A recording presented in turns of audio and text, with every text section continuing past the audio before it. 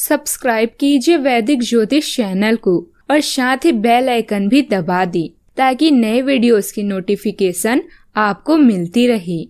जय संतोषी माँ। दोस्तों, स्वागत है आपका वैदिक ज्योतिष में। जानते हैं आज क्या कहती है आपकी राशियाँ। कैसा रहेगा आपका दिन? शुरुआत करते हैं आज के सुविचार से।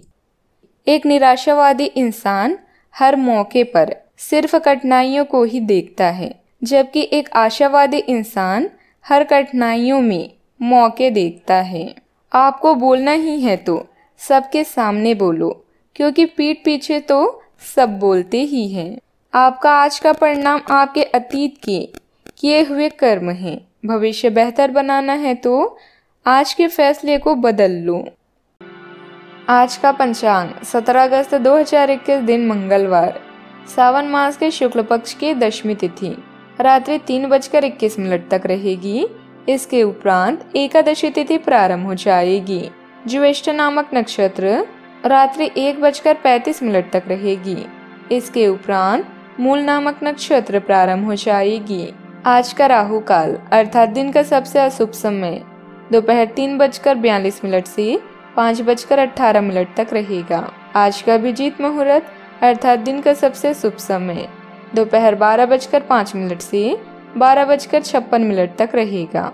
आज चंद्रमा वृश्चिक राशि पर रात्रि एक बजकर पैतीस मिनट तक रहेगी।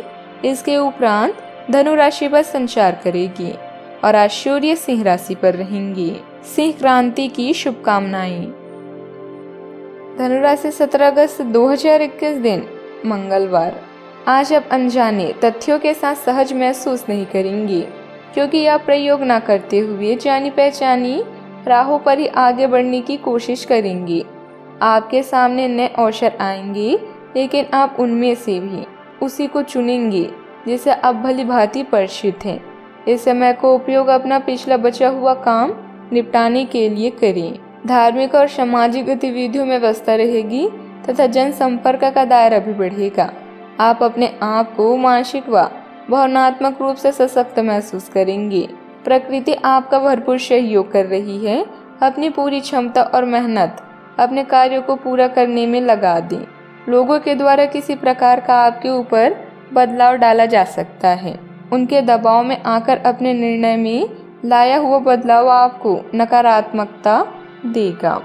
साथ में ही नए विवादों की शुरुआत भी इसी के द्वारा हो सकती है। परिवार के लोगों के साथ चल रहे विवादों की वजह से आपके अंदर अधिक रोष उत्पन्न हो सकता है, लेकिन किसी भी व्यक्ति की व्यक्तिगत बातों पर टिप्पणी नहीं करनी है। इस बात को भी याद रखना होगा। काम की जगह अटके हुए पेमेंट की वजह से क्लाइंट के प्रति आपकी नाराज़गी बनी रह सकती है। अपने स्वभाव का पार्टनर को गलत फ़ायदा न उठाने दें। बीपी से संबंधित समस्या कुछ देर हो सकती है। सावधानियाँ। गुस्से और जल्दबाजी जैसे स्वभाव पर नियंत्रण रखें। किसी संबंधी या पड़ोसी के साथ वाद विवाद जैसी स्थिति बन सकती है।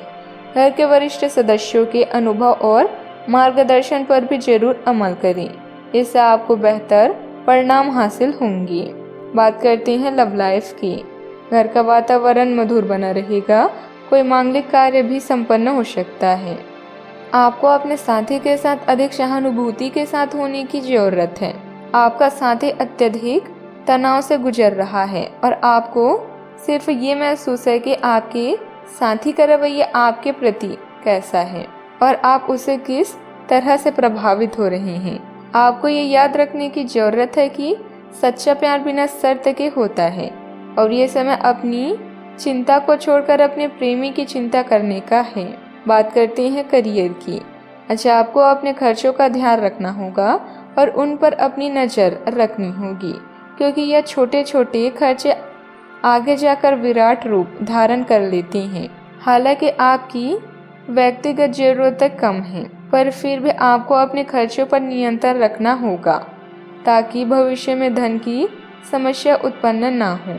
आपको कुछ अन्य कार्यों के बारे में भी सोचना चाहिए, ताकि आपकी आय बढ़ सके। बिज़नेस में प्रोडक्ट संबंधित कामों में कमी से तनाव उत्पन्न हो सकता है। इम्पोर्ट एक्सपोर्ट संबंधित व्यवसाय में सुधार आएगा। सरकारी नौकरी में अपने कार्यों के प्रति लापरवाही ना करें, क्योंकि कोई कंप्लेंट होने की स्थिति बन रही है। बात करते हैं सेहत की।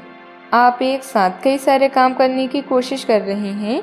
इसका आपके शरीर पर जो प्रभाव पड़ रहा है वह अब दिखाई देना शुरू हो जाएगा। आप अनिंद्रा से पीड़ित हो सकते हैं। आपको यह समझना चाहिए कि अच्छे स्वास्थ्य के लिए अच्छी नींद भी, संतुलित खाने और नियमित एक्सरसाइज जितनी ही ज़रूरी है।